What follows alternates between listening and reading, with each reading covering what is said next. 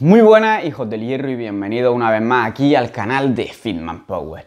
Seguimos hablando sobre nutrición pediátrica con Melissa Gómez, NutriKids en Instagram y estamos hablando sobre cuando ya un niño puede comer como un adulto.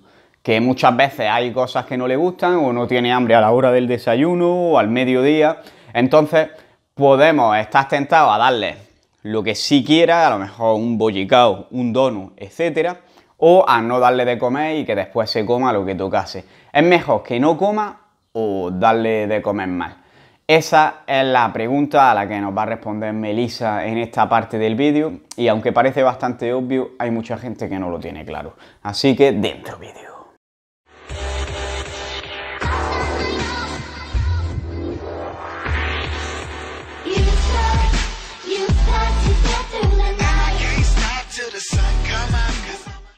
Y precisamente relacionado con esto, me gustaría que me hablase sobre la frecuencia con la que debería comer un niño, porque estamos muy acostumbrados a desayuno, media mañana, comida, merienda y cena.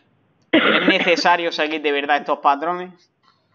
A ver, yo parto del punto de que yo lo ofrecería igual, porque el estómago del niño y el del adulto es distinto. O sea, nosotros podemos comer una cantidad mayor y que esa cantidad nos rinda para muchas más horas. No tenemos que estar comiendo cada 3, 4 horas, en verdad, porque pues incluso si tú escuchas a tu cuerpo, muchas veces te vas a dar cuenta que ni siquiera tienes hambre en esas horas que estás comiendo.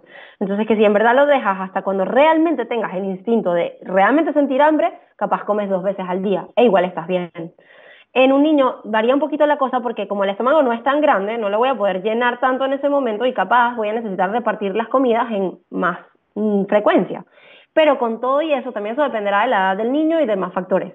Pero también es muy variable, o sea, sentar como que sí, tienen que ser cinco comidas, o tienen que ser tres comidas, o tiene que ser un X número de comidas, es difícil de manera externa. Yo lo que haría es ofrecer, pero es que hay que entender muchísimo que ofrecer no significa que lo va a aceptar, o sea, no significa que va a comer. Yo igual ofrecería, por si acaso, está jugando, está distraído, no se da cuenta y de repente le digo, ¿quieres una fruta? Ah, sí, pues sí. Ah, bueno, genial, se la come. Bien. No quiero, no tengo hambre. Pues no pasa absolutamente nada. Entonces, yo igual soy partidaria de que ofrezca, cada vez que uno tenga en su rutina una comida planificada, ofrecer, pero permitir que si quiere comer bien y si no quiere comer, pues no pasa nada. ¿Qué pasa? El niño eh, solo come una vez al día Vale, vamos a indagar a ver qué puede estar pasando. Que lo hizo dos días porque tenía un resfriado, porque le están saliendo unos dientes y le duele la boca, o es normal. Pero que lo está haciendo durante una semana, vale, vamos a ver qué está pasando, no sé si puede haber algo más, algo detrás de esto, la anemia, por ejemplo, que yo lo comentaba, en la infancia puede ser algo frecuente, mm, más o menos un 10% de los niños puede padecerla y no es tampoco tan alto, pero sí que lo podemos ver pasar más que otras condiciones. Y a veces cuando hay anemia hay inapetencia, o sea, no tienen casi nunca hambre. Entonces, bueno, buscar, tal vez puede ser algo así, lo veo pálido, lo veo decaído, veo algo más, pero no, el niño está brincando todo el día, tiene demasiada energía, solo hace media mañana una comida y luego merendó y no quiere cenar, ningún problema, o sea, es que eso no es un problema. Entonces, ahí es lo que te digo, la importancia de trabajar con las familias, con los padres, para quitarnos esas ideas que tenemos de que no, no, no, pero es que si no cena, ya no sé qué hacer yo no sé qué ponerle para que cena. Entonces, ya sé cómo le gusta eso que tú estás diciendo, las salchichas, pues cuatro veces a la, a la semana cenamos salchichas. Y es como, no, no, no, no, o sea, ahí ya no va a estar comiendo las salchichas porque tenga hambre. Porque igual tú te puedes comer cosas sin tener hambre. Si yo, yo siempre pongo este ejemplo en consulta, siempre digo, yo te invito a mi casa y tú acabaste de comer, has acabado de comer y yo te digo, oye Carlos, que tengo toda la tarde haciendo unas masas de pizza con unas pizzas que no sé qué, que no me la vas a dejar aquí sin probar, que al menos un trozo te vas a comer, ¿qué tal? Y al final, por el compromiso o por la situación, tú uno termina cediendo y dices, bueno, bueno, va, me como un trozo, aunque no tengas hambre. O si te ponen lo que más te apetece del mundo delante, pues igual te lo comes igual sin hambre. Entonces, claro, esas cosas hay que tomarlas en cuenta y saber que ahí estaría comiendo sin hambre y lo que tú decías, te tengo solo una hora para comer y en esa hora le voy a dar lo que le gusta pero es que nuestro objetivo no es que coma sí o sí, nuestro objetivo es alimentarlo, nutrirlo bien para que crezca sano. Y eso implica respetar apetito y saciedad cuando esté también presente. Entonces es lo que te digo, o sea, fácilmente eh, podrían comer cinco veces, como podrían comer cuatro, como podrían comer tres. Es fácil que si van al colegio al menos coman tres porque tienen como la presión de grupo.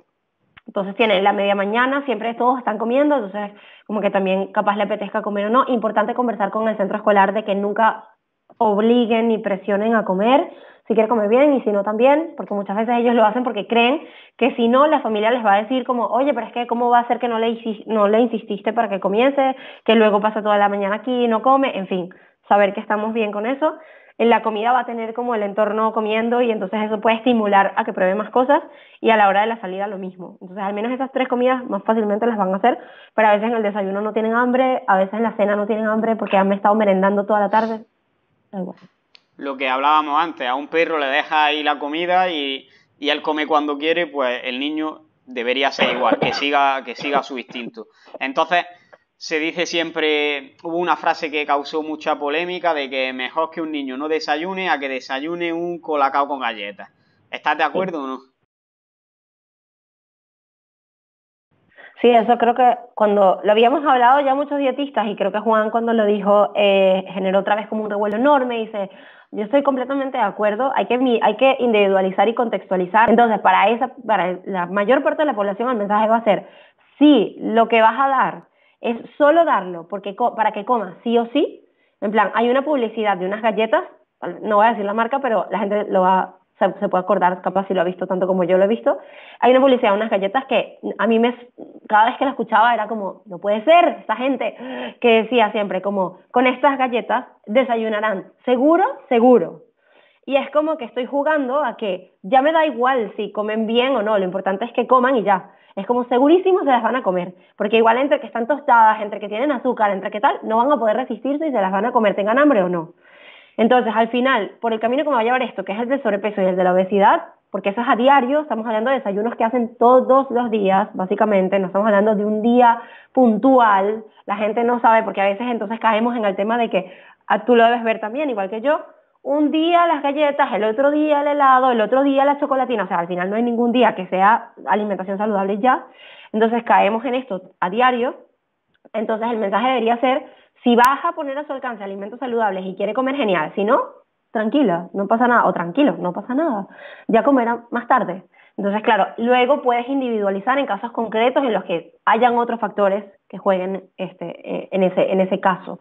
Pero a norma general sí estaría de acuerdo con dar el tipo de mensaje de que mejor mirar la calidad que la cantidad o que se coma sí o sí. O sea, eso no tiene mucho sentido en nuestro entorno. Escucha cómo suena.